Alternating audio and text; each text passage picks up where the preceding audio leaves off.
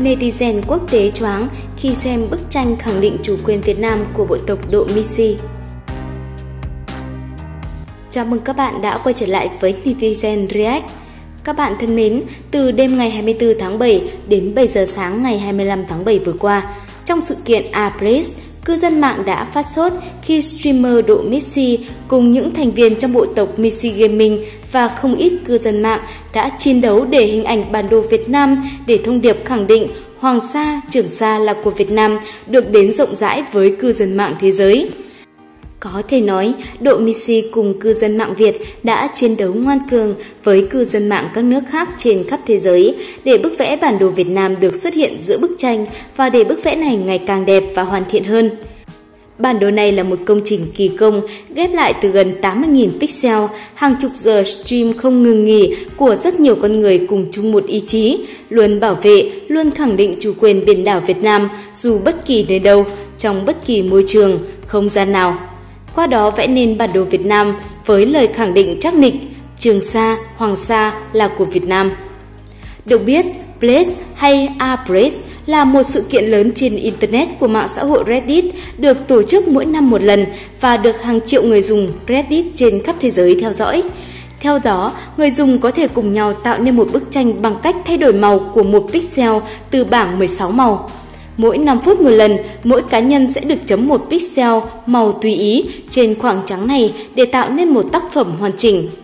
Tranh thủ cơ hội này, một streamer nổi tiếng là Độ Missy cùng người hâm mộ đã tạo nên một bức tranh bản đồ Việt Nam với đầy đủ hai quần đảo Hoàng Sa và Trường Sa cùng thông điệp Trường Sa, Hoàng Sa belong to Việt Nam.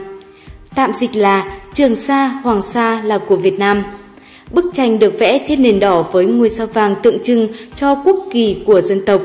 Các họa tiết mô phỏng họa tiết trên trống đồng cũng được đưa vào bức tranh để mang đậm bản sắc văn hóa, lịch sử của nước Việt.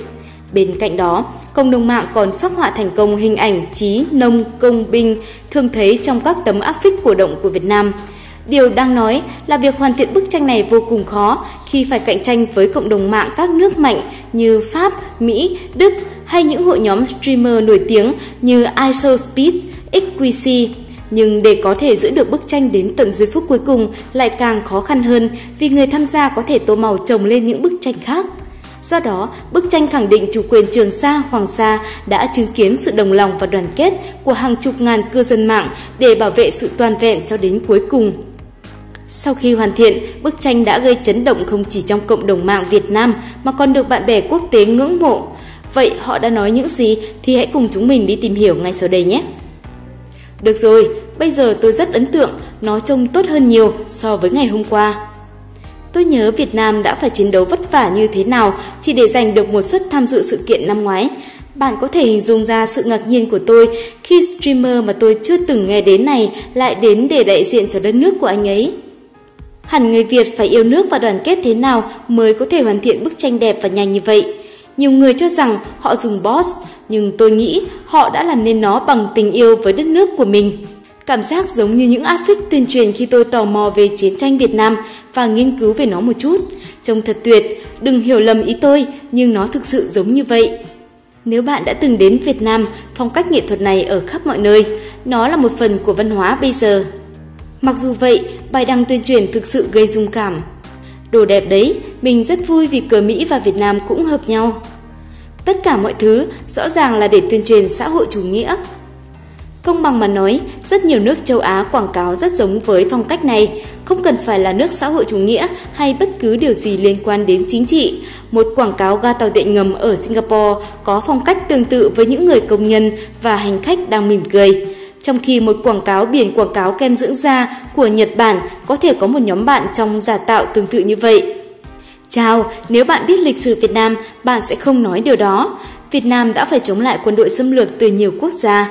Ngày nay, Trung Quốc muốn lấy quần đảo Hoàng Sa, Trường Sa của Việt Nam. Vì vậy, người Việt Nam đã cùng nhau làm nghệ thuật này để thể hiện lòng yêu nước. Thực tế là bạn 100% là tuyên truyền. Đó là một áp phích kỷ niệm ngày 27 tháng 7, một ngày để tưởng nhớ những người lính đã hy sinh trong chiến tranh. Chúng tôi đưa Hoàng Sa, Trường Sa thuộc về Việt Nam vì chúng tôi muốn làm ngược lại bản đồ từ Trung Quốc, không công kích cá nhân đối với Philippines, Đài Loan hay Malaysia. Hãy nhớ rằng Việt Nam đã chiến đấu để giành lại Trường Sa với Trung Quốc lâu nhất. Tôi nghiêm túc khi nói bức tranh này gần như tất cả được tạo bởi bot. Bot có nghĩa là một công cụ phần mềm chạy các thao tác tự động. Nếu bạn xem các dấu chấm được tạo trên đó, các tài khoản đều có chung liên kết bằng một số nào đó và cùng định dạng. Khi có sự cố xâm nhập xảy ra trên hình ảnh thì họ sẽ khắc phục sự cố ngay lập tức. Tôi không nghĩ là bot, anh ấy là một streamer nổi tiếng của Việt Nam. Lần trước tôi xem anh ấy có khoảng 120.000 người xem trực tiếp trên YouTube. Hãy xem kênh của anh ấy tên là Missy Gaming.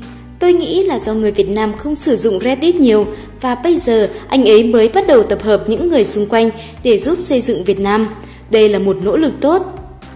Không, chính streamer của họ với 120.000 đến 200.000 người xem đã tạo ra nó. Tôi rất ngạc nhiên khi có những người sáng tạo mà tôi chưa từng nghe tên lại có cộng đồng đông đảo như vậy. Bạn có thể kiểm tra anh ấy trên YouTube.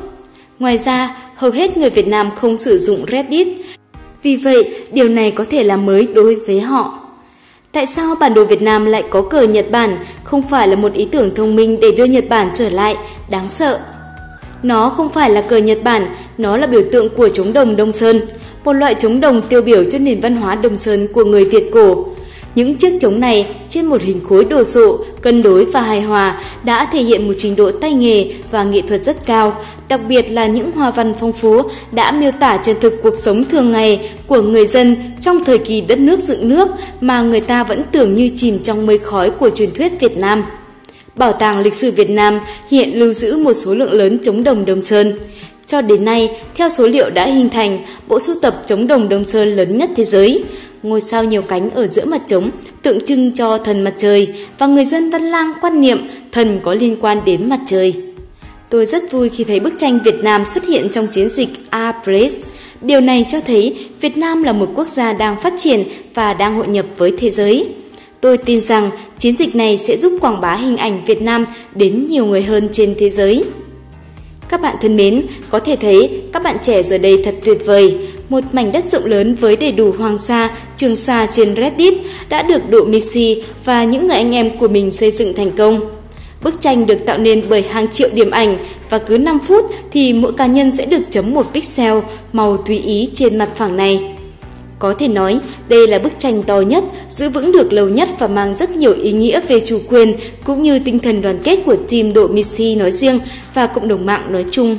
Một công trình kỳ công ghép lại từ gần 80.000 pixel, hàng chục giờ stream không ngừng nghỉ của đội Messi, hàng trăm ngàn con người của nhóm bộ tộc Messi Gaming và cư dân mạng. Tất cả cùng chung một ý chí đưa chủ quyền đất nước lên sự kiện lớn nhất năm của Reddit. Qua hành động này đã giúp hàng triệu người trên thế giới biết về Hoàng Sa, Trường Sa là của Việt Nam, điều đó thật ý nghĩa. Hẳn các bạn cũng cảm thấy rất tự hào giống netizen React đúng không nào? Hãy chia sẻ với chúng mình ở phần bình luận bên dưới nhé! Video cũng xin được kết thúc tại đây. Nếu thấy video hay, các bạn đừng tiếc một like, share, đăng ký kênh và bật chuông thông báo để ủng hộ đội ngũ sản xuất của Netizen React nhé. Cảm ơn các bạn đã dành thời gian quan tâm theo dõi. Xin chào tạm biệt và hẹn gặp lại!